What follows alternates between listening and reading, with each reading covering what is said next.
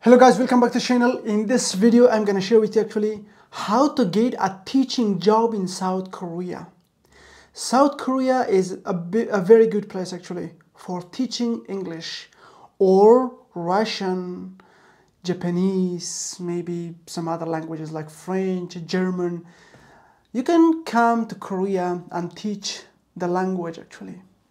So, but mostly people are focusing on teaching English language to Koreans. So if you are eligible and if you know that you are good at teaching English, so Korea is a good place for you. Even if you think that you're not good at teaching English, if you practice, if you work on it for like two months or three months, just attend free classes online or some kind of um, kind of free courses, I think you can learn it. It's not that difficult.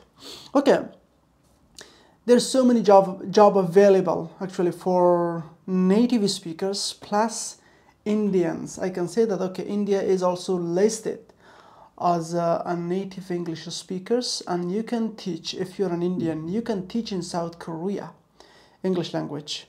Okay, there are four ways actually that you can apply for the jobs, and you can get a good job in South Korea and start teaching English to Korean kids. Okay, let's go to the first one but before i go to the first one i just request you guys to hit that like button subscribe to my channel that you can watch my new videos. And if you have any specific question comment below. And if it if you need in like a detailed answer so i think you better email me. Well guys the first one is called EPIK. EPIK like um, e-p-i-k i think it stands for yeah english program in korea. Okay so if you want to teach English in South Korea, you have to be in one of the following countries like Australia, Canada, Ireland, New Zealand, United Kingdom, United States, or South Africa. And India if you have a bachelor degree in English education. Yes, you can teach in South Korea at schools, so yeah, or English academies and EPIK is uh, I think this is the government website. So you can just check out this website. Then there are some required documents that you need to fill the application form and prepare the documents. They don't need any specific document. Of course they need your bachelor degree. And also they need um, I, I think TESOL, TEFL, these certificates are not really required. If you're from one of the mentioned countries but still yeah, you need to be like mentally and physically healthy not to be sick you know and uh, good command on english language and have the ability and willingness actually to adopt the korean culture and lifestyle you know. Sometimes people are coming and they're expecting koreans to be an englishman or a canadian. No. So you have to adapt to korean culture so you have to be a Korean when you're living in South Korea. Okay, and also if you're a Korean living in the US or in one of the mentioned countries, yes, you can also come back to Korea and teach as an English teacher in English schools or high school or middle school or even elementary schools actually.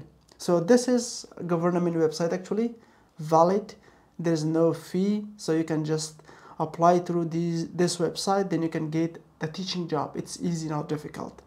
The second one is TaLK program. What is TaLK program? Okay, let me just, yeah.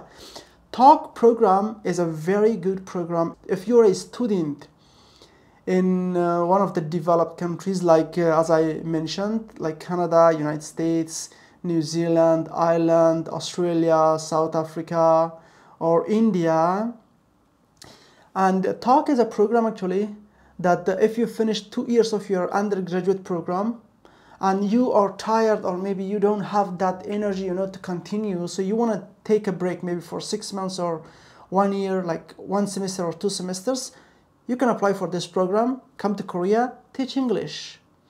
Yes. They also pay you 1 million 500 uh, korean won. So but it is a little bit less paid than EPIK program because this is some kind of um, okay it's a short-term program. And also you're teaching not many hours just uh, maybe 15 hours per week something like that.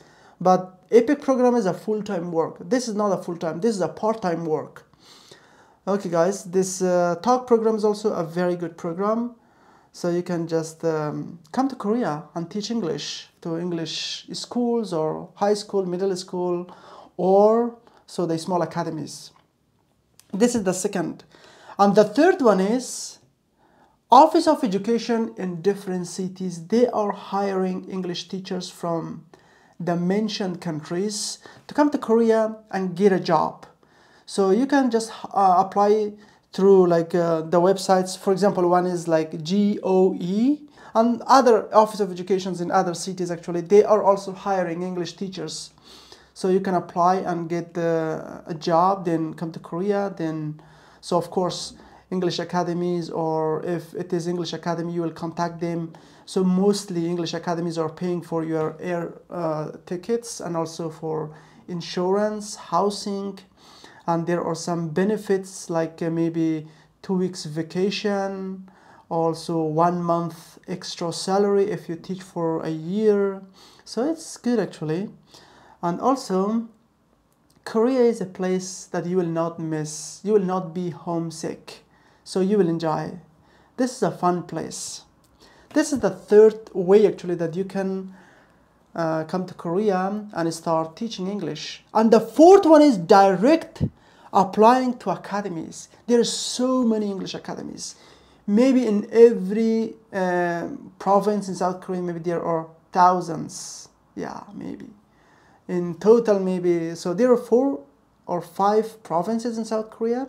So yeah of course more than 5,000 academies are already in South Korea. So you can contact them of course then send them your CV so uh, it's not really competitive you know. They need English teachers. And if you're from India fulfill the requirements apply for the job then compared to India the income is really high so you can come to Korea, start teaching English, then that's really good, guys. Okay, and uh, direct applying is also not really difficult. So the salary range maybe it's a little different because when you're teaching at high school in South Korea, so the salary is kind of fixed. It's oh, it's not really fixed. It starts from 2 million Korean won to 2.7 million uh, plus the benefits, you know. But sometimes there are some schools and uh, especially English academies, private English academies, they are paying higher, like 3 million, 3.5 million they are paying you. It all depends on the hours that you're teaching in South Korea.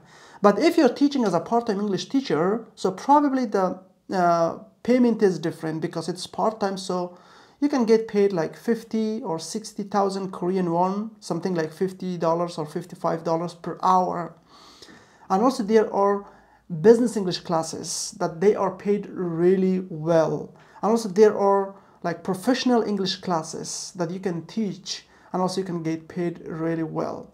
If you're a professional um, English teacher, like for example in a specific area, for example health, or for example business, for example marketing, you can go to the companies and teach their employees English and you're gonna get paid something like more than $4,000, $5,000 even.